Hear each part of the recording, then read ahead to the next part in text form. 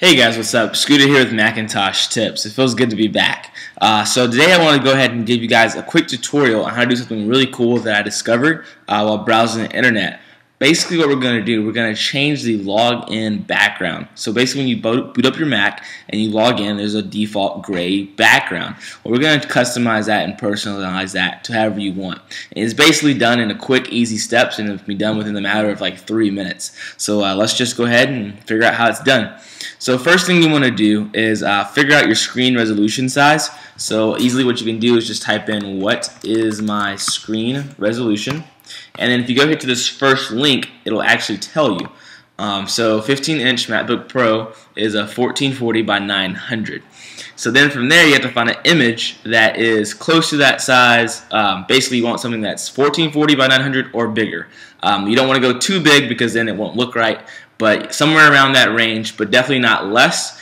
Um, so basically, for the video purposes, what I did was I went to Google, I typed in wallpapers, and then I just typed in my screen resolution size after it. And I just scrolled down until I found something that I liked. And basically I'm going to use this Buzz Lightyear uh, wallpaper here as the new background.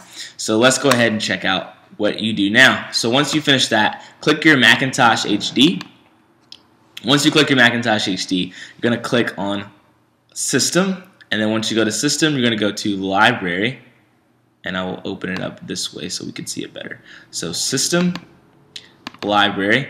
Then we're going to go down to framework or frameworks. Click that. Once you go to frameworks, you're going to try to find um, appkit.framework. This one right here. So click that. Once you click that, you're going to go into resources. And don't don't don't worry about trying to remember all this now. I will have it all in the description box below. Um, so once you get into there, you're going to come all the way down until you see something that says NS texture full screen background color dot um, JPEG or dot PNG or whatever he's going to say. Now, uh, the one here is going to say NS textured full screen background color dot PNG. That's probably what yours says, and it is the gray background. Uh, I've already been playing around with this for a little bit, so I've changed it around a little bit. This is what I have right now. I'm going to show you how to change it. But this should be gray for you, and it should say NS textured full screen background color dot .png. So what you want to do now, you want to take your picture that you want to change it to, and you want to use the exact same name. So capitalization everything. So NS textured full screen background color dot .jpeg uh, for mine. So what I'm going to do, I'm going to go in here type in capital N, capital S, capital T, textured full screen, capital S, full screen, background, color, dot JPEG. Uh, now yours might be a PNG. If it's a PNG, no worry. Just go in here, go to Get Info, or sorry, uh, if it's a PNG, you're gonna open up the file and preview. You're gonna go to File, and then you're gonna go to Export. And once you go to Export, you will just export it as a PNG. No big deal. Alright, so once you have that done, um, one thing you might want to also do is make a copy of your gray screen background just in case you want to go back to it uh, like if you sell your Mac or something like that so you would just go here you go to copy and you would go um, and paste it there just like that so now I have a copy so basically what I did I found the image right I just copied it or I converted it to a PNG now I'm going to take my new file that I just renamed so it's the same same uh, same name.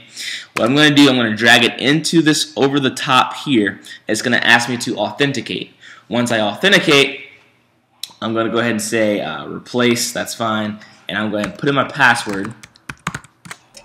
And it's just like that. Just like that, your background is now changed. So now you can just restart your Mac and you will see the uh, pictures um, that I have here off to the side of what it's going to look like and it looks flawless if you get the right screen size. So this has been Scooter at Macintosh Tips. Quick tip to help you guys personalize your Mac. If you want more videos about personalizing your Mac and things like that, comment below. Tell us if you liked it or not. Um, and be sure to hit us up on Twitter at Macintosh Tips. Uh, I even have a personal Twitter at Scooter Taylor uh, that I've been using a little bit more regularly, but I'll get back on Macintosh Tips for sure.